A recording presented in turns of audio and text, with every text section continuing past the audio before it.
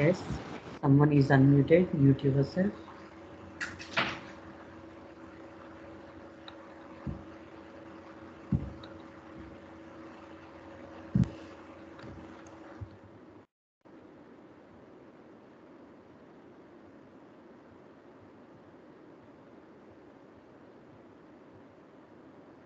we will discuss about the semiconductor laser okay last class we discussed about the uh, helium neon laser so before class uh, ruby laser okay so today we'll discuss about the semiconductor laser so these three are the main important topics in this laser laser okay semiconductor laser uh, in that semiconductor laser, there are two types of lasers are there. One is the homojunction laser, another one is the heterojunction laser. Okay, first of all, we will discuss about the homojunction laser. Before going to the homojunction laser, just I will give the introduction about the these semiconductor laser. Okay, semiconductors are two different groups. So based on their transitions, so based on the their emission process, based on their emission process or transition process, transition of electron from higher energy state to ground state. So these semiconducting materials are so divided into two groups. So those are direct band gap semiconductor and indirect band gap semiconductor. Okay, so based on their transitions, based on the transition from conduction band to valence band, electrons will transmit from higher energy state to lower energy state. Okay, so based on this transition here, so these semiconductors are so divided into two groups. One is the so direct band gap semiconductor and another one is the indirect band gap semiconductor. Okay, now coming to the so only we are discussing here about the direct band gap semiconductors because so these direct band gap semiconductors are used in uh, while preparing the lasers okay while preparing the lasers only direct band gap semiconductors are used okay so how to prepare these direct band gap semiconductors? So so just first of all what are the examples of direct band gap semiconductors means?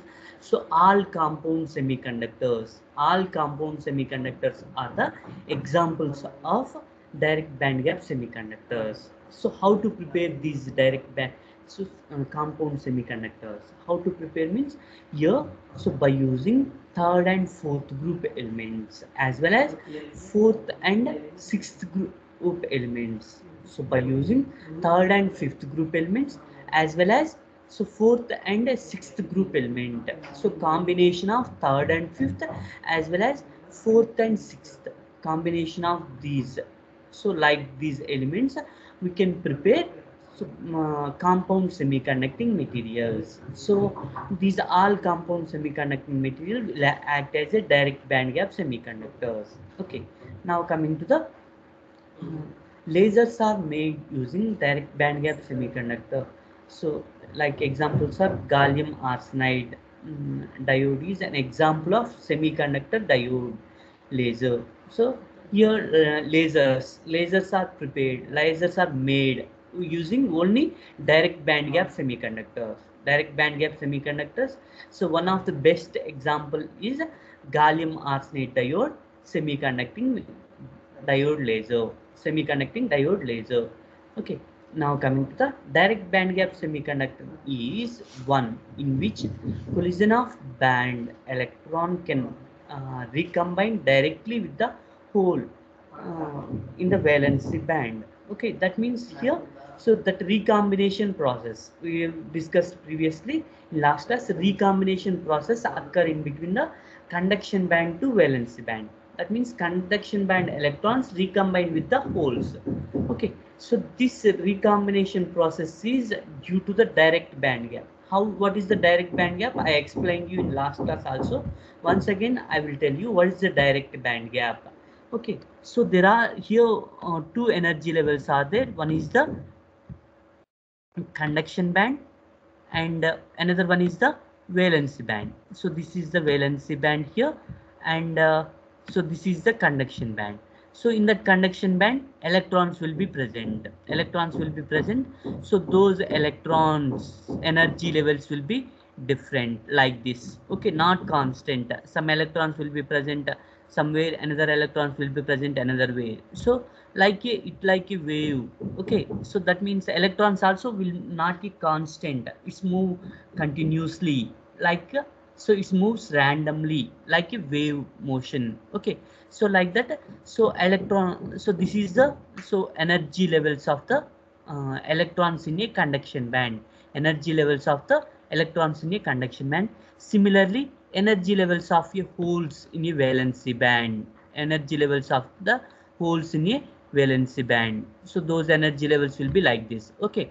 Now, so according to direct band gap semiconductor definition. Okay. So this minimum energy of the electron in a conduction band will coincide with the maximum energy of the hole in a valency band. At that situation, transition will occur in between electron and hole electron that means these are having both both are having same k value same k space value. Okay same k space value. Okay so because of the k same k value what happened here? Direct band gap will occur. Direct band gap definition is here. Minimum energy of the electron. In a uh, conduction band is coincide with the maximum energy of the hole in uh, valency band so what happened? So at that situation if transition will be takes place so the transition we will call it as direct band gap transition. That type of material we will call it as direct band gap semiconducting materials. Okay if transition is occur so like this means uh, this because of this transition photon will be emitted. Because of this transition what happened? Photon will be emitted so remaining other transitions photon does not emit. Yeah. okay. So here uh, that that means there is no loss of energy. So in this case in this case so while emitting the photon there is no loss of energy. So there is no loss of energy. Suppose if transition occur between the this position to here so that is not direct band gap. That is not suppose transition is occur electron will be here so hole will be here so transition occur in between. So like this means so that is not a direct band gap that is indirect band gap. In that indirect band gap phonons also involved. Phonons also involved. So that's why that indirect band gap semiconducting materials are not suitable not suitable for lasers not suitable for uh, lasers. Examples of indirect band gap semiconductors are so silicon germanium those all are the examples for uh, what is that? Indirect band gap semiconductors. Okay. Now so while preparing the lasers we will use only direct band gap semiconducting materials. Okay. Now coming to the principle. Okay what is the principle of here semiconducting laser? So the energy band structure of semiconductor consists of a valency band uh, a conduction band separated by a energy gap. We know that. Okay. So if you will observe the band structure of semiconductor it consists of a valency band and as well as conduction band separated by a some energy gap. Okay. The conduction band contains electrons and the valency band contains holes. Holes. Okay. Mm, the valence band contains holes and electrons but majority charge carriers are here. In in that valency band holes only. Okay. Now when an electron from the conduction band jumps into the hole in valency band the excess energy Eg is given out in the form of photon. Okay so this is the recombination process. This recombination process is the principle of principle of here laser, emission of laser. Okay now electron hole recombination is the basic mechanism responsible for emission of light okay this recombination process is the basic mechanism okay to uh, responsible for the emission of light. The wavelength of light is given by the relation of lambda is equal to hc by eg so this is the so how to calculate the wavelength of emitted light? Wavelength of emitted light means so what is the this depends on the energy gap. It depends on the energy gap of the valency band and conduction band. Valency band and conduction band. If energy gap is high means so wavelength will be less. If energy gap is less means wavelength is high. Okay. So lambda is equal to hc by eg because hc value is constant. So that hc value is 12400 angstroms. Okay. So now coming to the semiconductors having suitable value of eg emit light in that optical region. Okay it depends on the so whatever eg value whatever the eg value so depends on that eg value here. So uh, corresponding optical region uh, light will be emitted light will be emitted. Okay now coming to the so we'll discuss that is the above one is the total principle how it will so uh, works semiconductor will work. Okay so that is the principle here. Now coming to the heterojunction laser. Heterojunction sorry homojunction laser. Homojunction semiconductor laser. Okay. A simple diode laser which makes use of the same semiconductor material on both sides of the junction is known as homojunction diode laser. Okay. So here homojunction i will tell you again. So this is the one one is the n region another one is the p region in n region also we are using gal gallium arsenide in p region also we are using gallium arsenide that means so in both sides of the junctions, we are using same type of semiconducting material. So in both both regions, P region as well as N region, we are using same type of semiconducting material. So that type of semiconducting materials we will call it as homojunction. Homo is nothing but similar. Homo is nothing but similar. Okay. Homojunction semiconducting material means so both junctions same type of materials, semiconducting materials are used. So that's why these materials we will call it as homojunction semiconducting lasers. Okay. So how to construct this homojunction? Okay. Now, so basically we'll take here n-type gallium arsenide material. N-type gallium arsenide material. Okay. So in that how to prepare n-type? Okay. How to prepare the n-type gallium arsenide how to prepare n-type gallium arsenide means so we are doping with here uh, pentavalent element. Pentavalent materials if you dope with pentavalent materials means it will become n-type. N-type. Okay. Generally here uh, we are discussing one more one minute here one minute.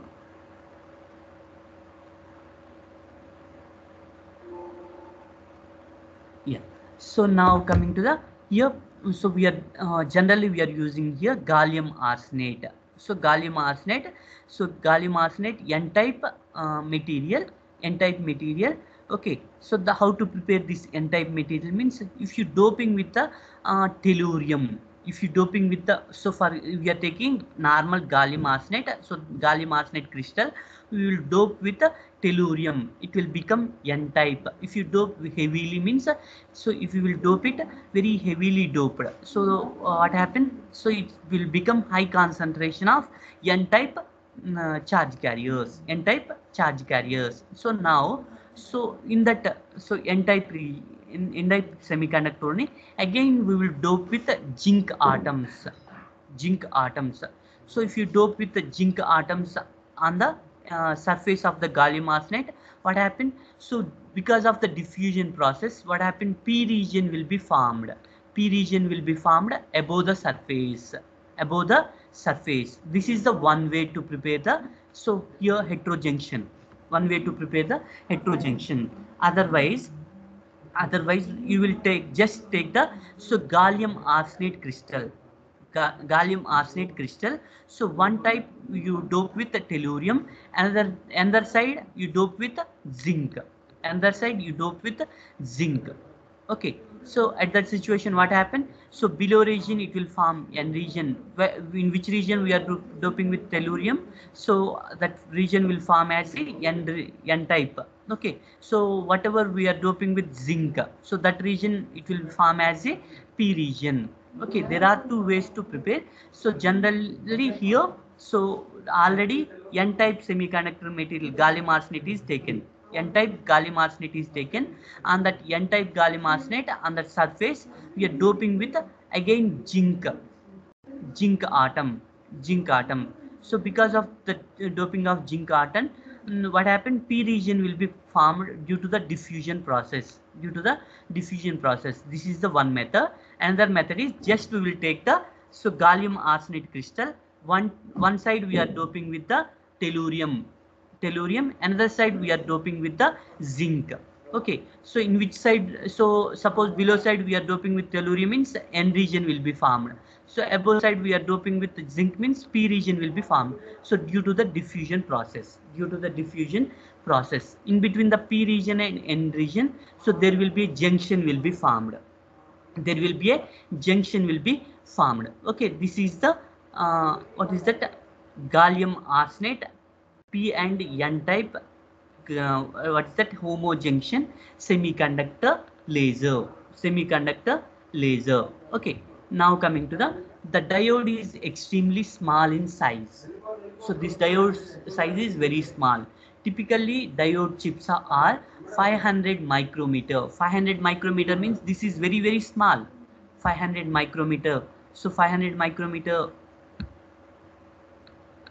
So not not only millimeter here. Micro means that 10 to the power of minus 6 meters. 500 into 10 to the power of minus 6 meter. That means it is very small. So that is the long. Uh, and about the so width. So width is just 100 micrometer. Okay? That means so by using semiconducting material we can prepare very very very small size of lasers very small size of lasers. Just 500 micrometer uh, length and 100 micrometer wide width. Okay uh, so thickness also same 100 micrometer only. So wideness and as well as thickness is just 100 micrometer. Okay mm. now coming to the so this is the uh, dimensions of the semiconducting laser. Now next point the top and bottom phases are metallized and metal contacts are provided to pass the current through the diode.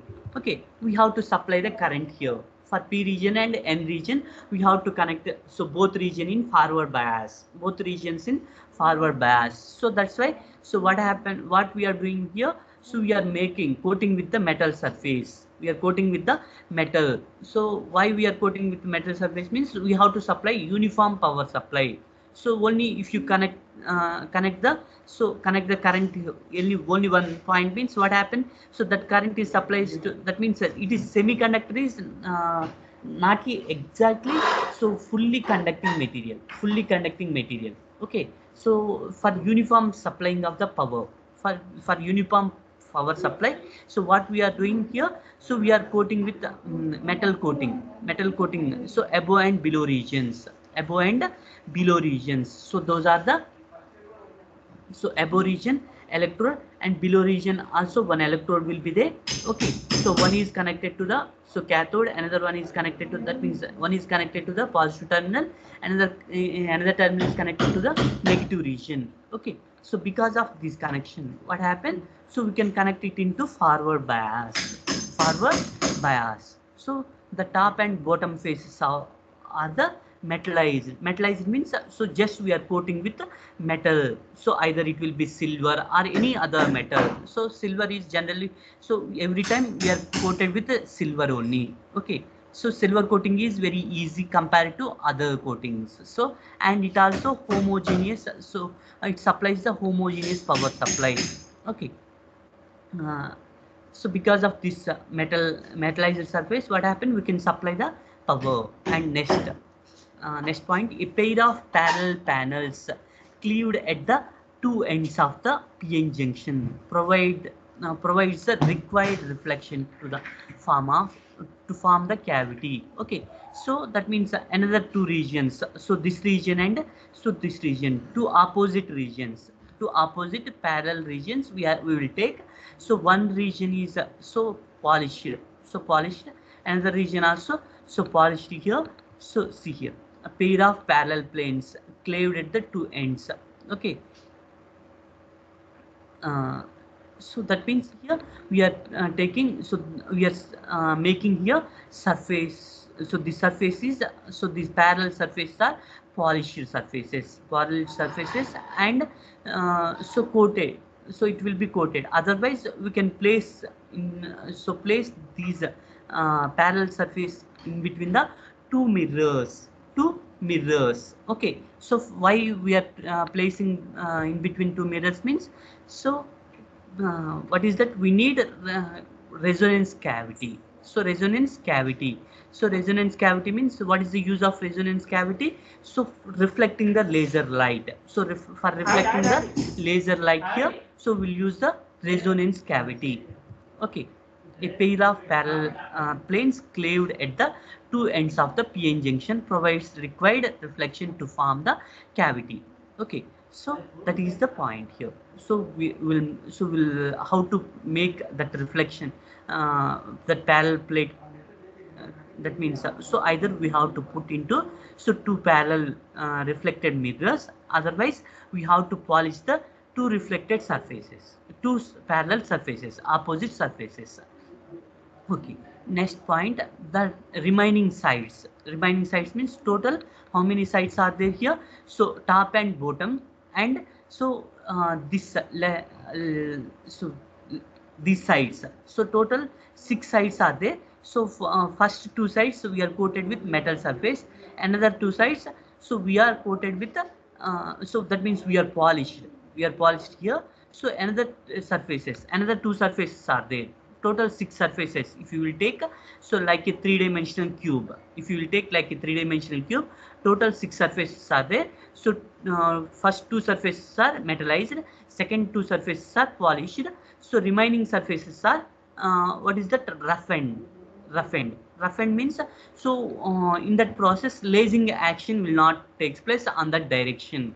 So lasing action does not takes place on that uh, direction. See here two remaining sides of the diode are roughened to remove the lasing action in that direction. So because of the roughness, what happened? So that laser is not reflect back, not reflect back. Okay, if it will be polished surface, then only that laser will be reflect back. Okay, so here we are taking a remaining surfaces are roughened surfaces. That's why lasing action does not takes place, does not takes place. So in that direction, in that direction okay so only one direction lasing action will be so reflection will be takes place. Reflection will be takes place. That's why laser will be produced only on that particular direction. Okay now next point. The entire surface is packed in a small case which looks like a metal case used used for discrete trans uh, transistors. Okay. Here so this total this total equipment is placed in a so metal uh, case so metal case to protecting the so this uh, uh, laser here. Okay now working. So how to work? Okay so that heavily doped p and n regions are, are used here. So because of very heavily doping on the n side the donor levels are uh, broadened and extend into the conduction band. Okay now see here. So this is the uh, already we know that. So what is the fermi level? Suppose if you will take yeah i will explain you here energy level diagram of uh, n region. Okay. So if you will take only n region here so n region so this is the uh, valency band. So this is the conduction band here. Okay. So what is the fermi level? So in case of pure semiconductor that fermi level is middle. Okay. In case of n type semiconductor that fermi level is nearer to the conduction band nearer to the conduction band. Okay so here we are doping heavily doping. So heavily doping that's why so what happened? So that fermi level pushed into the conduction band see here. Because of the heavily doping the fermi level is pushed into the conduction band. So that means so that fermi level goes to the so conduction band. Now this is the fermi level. Okay and uh, electrons occupy the levels lying below the Fermi level. So all electrons will be present. So below the Fermi level only. All electrons will be present here. So below the Fermi level only. Now coming to the similarly on heavily doped p side. Heavily doped p side, the Fermi level lies within the valency band and holes occupy the uh, portion of the valency band uh, that lies above the Fermi level. See here. So in that valency band. So in P region. So this is the N region. n region fermi level will be like this so this is the fermi level so just nearer to the conduction band if you dope heavily means uh, so it will uh, enter into the so pushed into the conduction band if you dope the heavily doping so this fermi level is pushed into the conduction band similarly now coming to the so this is the valency so this is the p region we are taking. So this is the so p type semiconductor. So and uh, this is the conduction band here. So this is the valency band. So uh, fermi level. Fermi level is just nearer to the valency band. Fermi level is so just nearer to the valency band. Okay. Now if you doping very heavily doping. Heavily doping means so that uh, fermi level is uh, pushed into the valency band here so that fermi level is see here. So that fermi level is pushed into the valency band. Pushed into the valency band. So and holes occupy the portion of valency band that lies above the fermi level so here so all holes are uh, present in the above the fermi level only above the fermi level only now so see here uh, now so without any uh, what is that? Just so this is the heavily doped p region and heavily doped n region. Okay.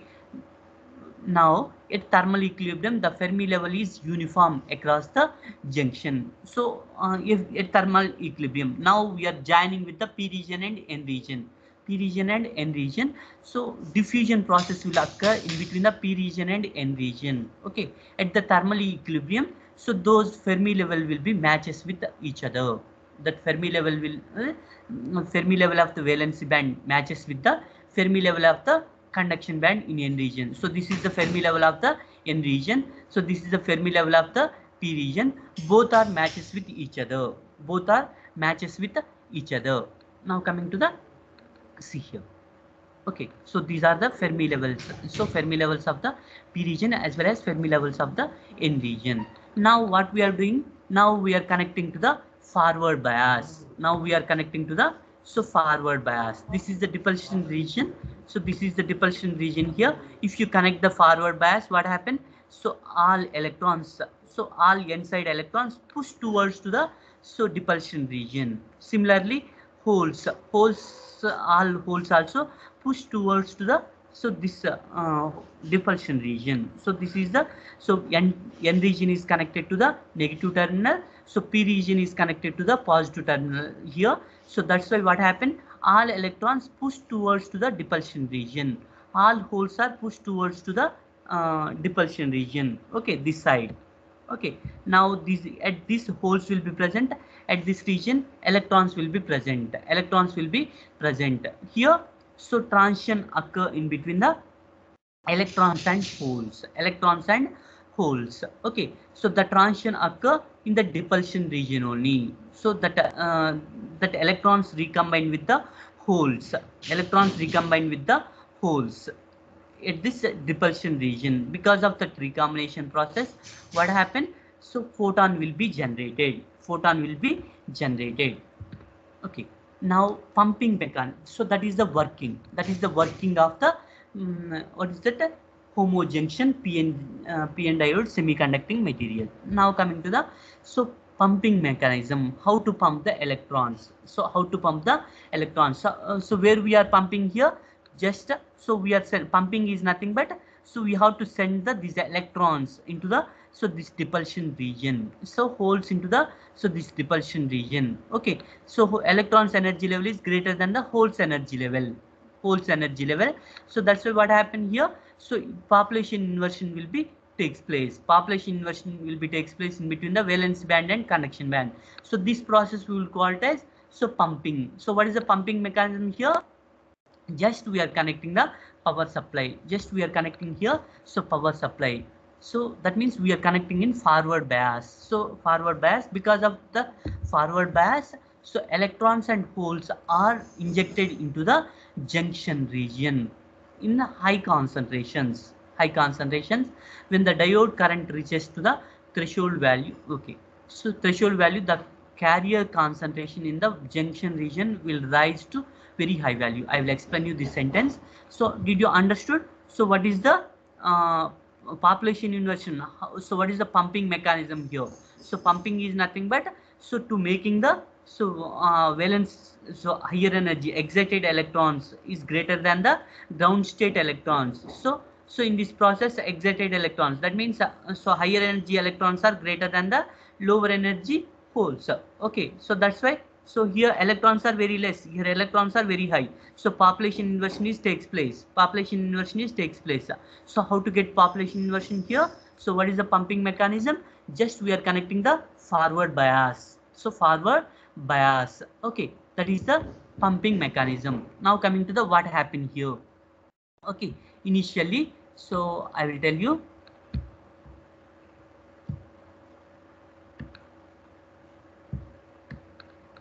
Okay if you observe the current here so with increasing the so voltage here so current okay so otherwise voltage in x-axis current is in y-axis current is in y-axis so up to so we are applying forward bias up to particular volt. What what we are discussing that current will be increases very slowly. Current will be increases very slowly. So after that that current is increases drastically. Okay. So this value is called as threshold value. So this value will call it as threshold value. So that current also will call it as threshold current. Threshold current here so see here. So because so because of the spontaneous emission because of the spontaneous emission process here current is takes place. So current so current is passing here. So now here because of the stimulated emission because of the stimulated emission here current is passing. So how it will be i will explain you. So in this process initially what happened so spontaneous emission will be occur in between the uh, conduction band and valency band. So because of the spontaneous emission only small amount of electrons will come comes to the ground state. Now we are keeping here so optical resonator. So optical resonator. So yeah. So just optical resonator will be there this side and this side. Okay. So some photons will be emitted this side some photon will be emitted this side so what what happened? That emitted photons will be reflected so again and again. So because of that reflection so that photon stimulates the so these valency electrons. So initially spontaneous emission will be occur. Because of the spontaneous emission one photon will be emi emitted that photon will be so uh, so passing through the so passing through this material and touches to the this mirror and it will be reflect back. It will be reflect back so that reflected photon so triggers the triggers the, these excited electrons. That means valency band electrons. So because of that triggering process what happened? Electron also comes to the ground state. Now so that incident photon as well as uh, so emitted photon. Now so combinedly come both uh, each other and they again reflect back. So now two photons are reflecting back. So those two photons triggers the and again two electrons so those two electrons come uh, to the ground state. So again two photons are emitted. That instant photons are two and emitted photons are two. Total four photons. Four photons uh, so again strikes the this mirror. Again those reflect back. Those reflect back. Now four photons so trigger the four electrons. So those four electrons comes to the ground state. At that situation four photon will be mm, emitted so those four photon and incident four photon so total eight photons. So reflecting back. So this process will be so occur again and again. So when you will get the so certain intensity so those will come out from the so this partially coated uh, surface. Partially coated surface. Okay. So this is about the so what is that? So pumping mechanism. Now population inversion also same here. So the region uh, d as shown in conduction. So this is the region d. In this region d so population inversion is takes place now okay that only here explained. Large concentration of electrons within the conduction band and simultaneously a large number of holes within the valency band. The upper energy level in the narrow region are uh, having high electron population while lower energy level uh, same region are vacant. Okay it creates a conduction of population inversion. It is called uh, inversion region or active region. Okay so now what is the active region here? So this depletion region only active region. This depulsion region in this depulsion region only so laser action is lasing action is takes place. So that's why so that uh, dip, this depulsion region is is it called as so active region. Active region. Okay. So now in this region only population inversion is takes place. Lasing action also possible. Okay. So that is about the pumping mechanism and population inversion. Now lasing action. Okay. So uh, chance of recombination leads emission of spontaneous photons which so already i explained whatever previous that only so uh, conduction so because of the what is that uh, recombination process here so photon will be emitted. So this is the uh, so initially spontaneous emission will be occur. So because of uh, what is that? Uh, resonators. Because of the resonator so stimulated so recombination will be occurs stimulated process will be stimulated emission process will be occur. Now gallium arsenide laser will be emit the wavelength 9 9000 angstroms 9000 angstroms means so this is the ir region so this is the 9000 angstroms. 9000 angstroms means this is the IR region. So IR radiation will be emitted. Okay. Now, so there are some drawbacks of the homojunction laser. So what are those drawbacks? The active region is not well defined. So due to the diffusion length of the carrier. Here. So because it is only depends on the uh, diffusion process. If you heavily doped means, so this length will be uh, decreases. Lightly doped means, uh, so heavily doped means, so length is very less. So that means length is decreases. If, if it is heavily doped, sorry, lightly doped means diffusion length will be more. Okay. So, but number of electrons will be decreased. Okay. So that's why. So this diffusion region, width of the diffusion region, we can can't decide. Okay. So that is the one drawback that is the one drawback. And one more drawback is the semiconductor has nearly uniform refractive index throughout the uh, through so material throughout the material. If you will take so here. So this is the so semi gallium arsenide only. Here also gallium arsenide only here also gallium arsenide. So throughout the material its refractive index is same. Refract, refractive index is same. So that's why what happened? So that emitted laser will uh, chance to go this side. So will chance to come this side. So any side it uh, is it chance to go. So that's why what happened? So there are so many losses will be there. So there are so much of loss of uh, energy will be there. Okay. So because of the same refractive index. So that is the one drawback another drawback. So to overcome these uh, drawbacks so again, one more will be there. That is the heterojunction semiconductor laser. We'll discuss that heterojunction semiconductor laser tomorrow. Okay. Now, yeah. So I will take the attendance. If you have any doubts, you can ask.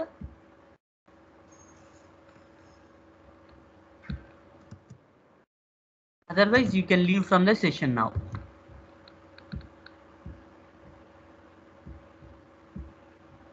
If you have any doubts, you can ask. Otherwise, you can leave from the session.